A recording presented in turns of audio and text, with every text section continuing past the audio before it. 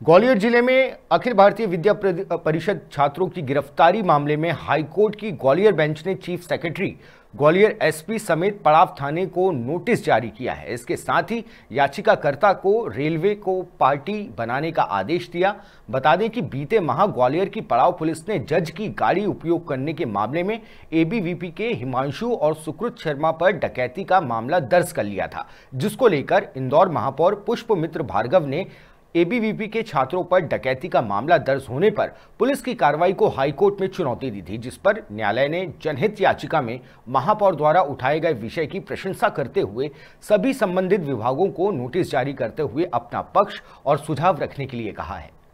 ये जो ये जो पूरा मामला है, ये सब वो दिसंबर में एबीवीपी के छात्रों के द्वारा एक जो जो वो वी सर थे, उनकी जान बचाने की कोशिश की गई थी। जिसमें एक हाईकोर्ट जज साहब की गाड़ी का उनने उपयोग करके हॉस्पिटल तक उनको लेके गए थे। उसी विषय पे थाना पड़ाव के द्वारा उनके ऊपर डकैती की कार्रवाई की गई।